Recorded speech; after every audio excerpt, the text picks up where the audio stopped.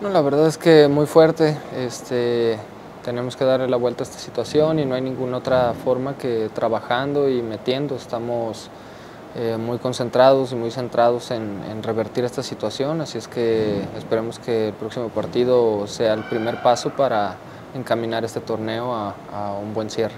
¿Cómo aprovecharon este fin de semana tener más trabajo para este partido contra Cholos? Eh, con más interescuadras, este, la competitividad subió, este, los tiempos subieron, creo que era natural que, los entrenamientos se hicieran más fuertes, así es que estamos listos de cara al partido contra Cholos. ¿Ves potencial en el equipo para, para dar la vuelta a la estación? Sí, por supuesto que sí, hay mucha calidad humana y muy buenos jugadores para que esto se revierta y podamos ganar el próximo partido. Por lo pronto, ¿qué nos puedes decir de Tijuana, el próximo rival?